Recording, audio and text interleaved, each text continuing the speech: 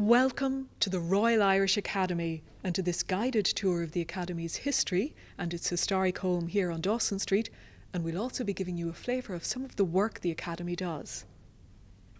I'm Mary Mulvihill from Ingenious Ireland, and with the Academy's librarian Siobhan Fitzpatrick, we'll be telling you about some of the fascinating people and treasures associated with the Academy for over 200 years.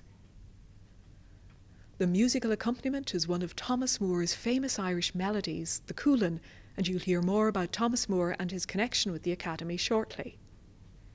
As you can see, this is a working institution, so please keep to the public parts of the building as we've indicated in the tour, and we ask you not to use your mobile phone while you're in Academy House, and so please put your phone on silent now. Our tour normally includes the historic meeting room, but if that room is in use, then unfortunately you won't be able to go inside, but you can take a seat in the library and listen to the meeting room stories there.